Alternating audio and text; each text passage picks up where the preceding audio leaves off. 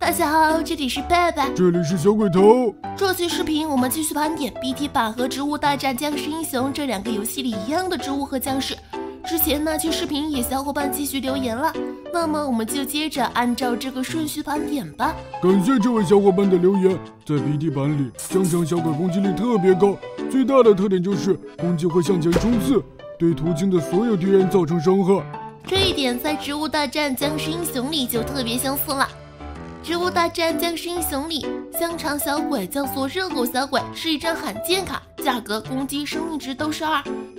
最大的特点就是攻击是造成穿透伤害。你看这个穿透是不是和 BT 版香肠小鬼穿透一模一样啊？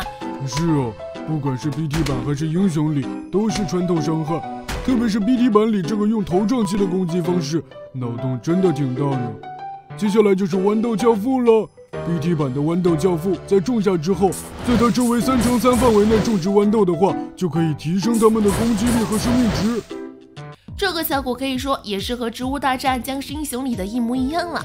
《植物大战僵尸英雄》里的豌豆教父名字叫做豆角教父，是一张稀有卡，阳光三，攻击二，生命二。它在场上时，只要你打出豌豆卡，就可以让那个豌豆获得二攻击力和生命值。感觉 BT 版前期更多是在模仿英雄里的卡呢。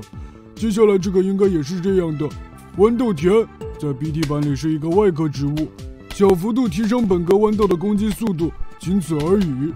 可是英雄里没有攻击速度的说法呀，植物大战僵尸英雄里豌豆田是一张稀有卡，阳光、攻击、生命都是二，豌豆田可以和其他植物融合，融合之后的植物可以获得二攻击力和二生命值。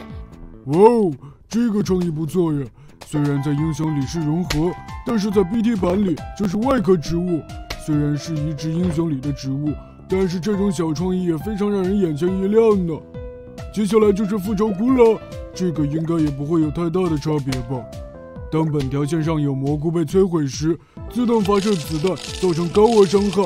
像这种 BT 版比较早期的植物，应该都是直接从英雄里移植的吧？差不多，但又有点区别。英雄里的复仇菇是一张超稀有卡，阳光三，攻击二，生命二。当有蘑菇被消灭时，随机对一个僵尸或僵尸英雄造成两点伤害。所以说，BT 版是固定对自己这条直线发起攻击，英雄里是随机造成伤害，果然还是有点区别的呢。那么这期视频最后一个，复制松果。BT 版的复制松果，只要种下它，它就会不断朝着三乘三范围内复制。一个不小心，可能你的所有植物都会变成复制松果。植物大战僵尸英雄里的复制松果是一张传说卡，阳光四，攻击三，生命三，效果如它的名字一样，只要打出它，你场上的所有植物都会变成复制松果。那么这期视频到这里就结束了，下期再见，拜拜溜。